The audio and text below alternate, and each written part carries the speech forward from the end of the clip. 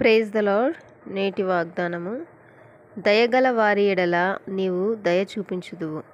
యథార్థవంతుడెడల యథార్థవంతుడుగా ఉనుందువు రెండవ సమయాలు గ్రంథము ఇరవై రెండవ అధ్యాయము ఇరవై ఆరో వచనము. యహోవా దయాళుడు ఆయనకు కృతజ్ఞతాస్థుతులు చెల్లించుడి. ఆయన కృప నిత్యముండును. మనము దయ కలిగి ఉండాలి. మన మనము దయ కలిగి జీవించాలి. మనము ఇతరుల పట్ల దయ చూపినట్లయితే దేవుడు మన ఎడల దయ చూపుతాడు. మనము దేవుని ఎదుట యథార్థవంతులుగా ఉండాలి. ఎందుకంటే దేవుడు యథార్థవంతులకు ఏ మేలును చేయకమానడు. అంతేకాదు దేవుడు యథార్థవంతులను వర్ధిల్ల చేస్తాడు యథార్థవంతులను ఒకరి ఎడల ఒకరు దయ కలిగి ఉంటారు.